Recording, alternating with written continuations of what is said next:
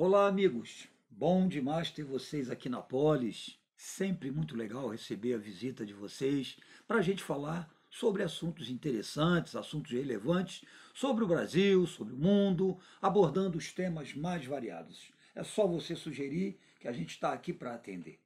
Vamos aproveitar essa sua visita para mais um episódio da série é, Top 3 Polis. Pois é, você tem acompanhado a gente, sabe que a gente está é, com o top 3 relacionado com os três grandes nomes da filosofia. Já tivemos o primeiro episódio, no qual a gente falou sobre Sócrates, e hoje a gente vai para o segundo episódio. Quem será o escolhido? Pois é, o segundo nome da lista Top 3 Polis de filosofia é o filósofo alemão Friedrich Nietzsche. Nietzsche, né, que você conhece bem. Nietzsche é, viveu na Alemanha meados do século XIX. Nasceu em 1840 e morreu uh, em 1900. Para muitos, Nietzsche é considerado como o pai do existencialismo. Né? É, evidentemente, na época de Nietzsche ainda não existia o termo existencialismo ou filosofia existencialista. O, o termo existencialismo foi cunhado por Jean-Paul Sartre mais tarde, né? já no século XX. Mas a filosofia de Nietzsche é, foi muito influente e tem, tinha todas as características é, da filosofia existencialista.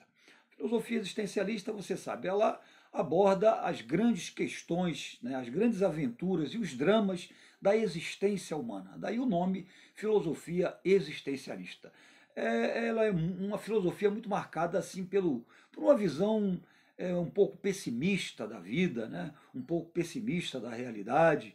Os é, existencialistas, inclusive, sempre foram acusados de serem não, não praticarem né, uma filosofia humanista. Né? É, o que, que marca, o que, que marcou né, na produção filosófica de Nietzsche?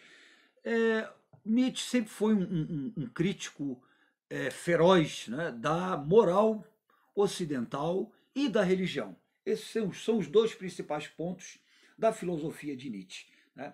Em relação à moral, ele tem uma obra bastante conhecida, é, bastante clássica, que é a Genealogia da Moral, onde ele traça um histórico né, da, do, do, sistema moral ocidental. Ele critica muito, né, fala que se trata de uma moral burguesa, uma moral é, cristã, né, e, e, coloca coisas assim, né, é, é como se os sistemas morais eles não, não devessem né, ser é, levados muito em consideração, porque eles atenderiam é, aos anseios de grupos, né, de uma minoria que tenta massificar a sociedade como um todo, controlar a sociedade.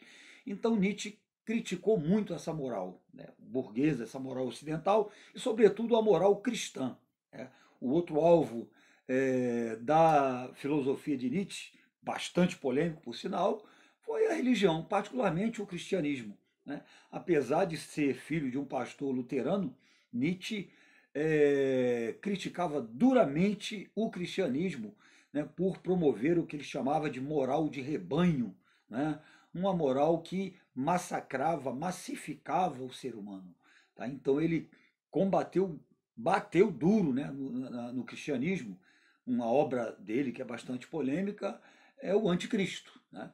Fez com que muitos, inclusive, apontassem Nietzsche né, como a, a, a besta do Apocalipse, né, que aparece no Apocalipse é, de São João, né, o 666. Muita gente associou Nietzsche né, a esse número, né, esse citado no Apocalipse. Né.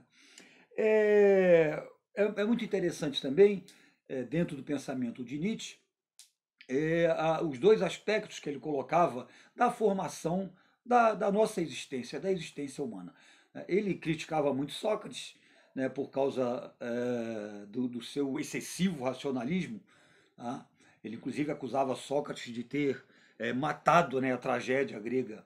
Então, é, em relação a esses dois aspectos, né, da formação da nossa, da, da nossa personalidade, né, da, da, da nossa natureza, ele citava o, o que ele chamava de apolíneo e o que ele chamava de dionisíaco. Ele dizia: todos nós temos é, esses dois aspectos na formação da nossa mente.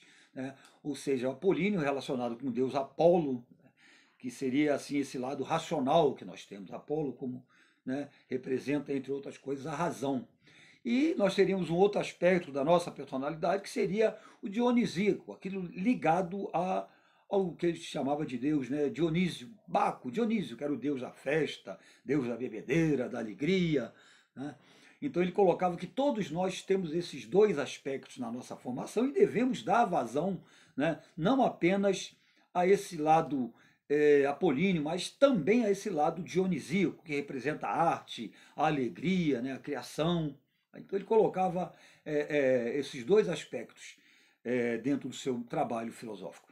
É, o livro clássico de Nietzsche, todo mundo conhece, que é, é o mais famoso, né? assim falou Zaratustra, ele coloca muita coisa da sua, da sua filosofia. Ele escrevia muito usando aforismos, isso é interessante. Né? Os livros de Nietzsche, quase todos, são escritos em formas de pensamentos, aforismo. Zaratustra é o mais clássico de todos eles. Tá? Então, devido à sua influência, né, a, a, a, ter sido um dos precursores da existencialista, da escola existencialista ou da, da corrente filosófica existencialista, que foi é, a maior né, do, do, da filosofia contemporânea, é, devido a tudo isso é que a gente colocou Nietzsche aí nessa, nesse seleto né, grupo aí de três grandes filósofos de todos os tempos, nessa lista tríplice. Né? Aguarde o próximo episódio, quando a gente vai fechar essa série Top 3 Polis, os grandes nomes da filosofia. Um grande beijo para você e até a próxima.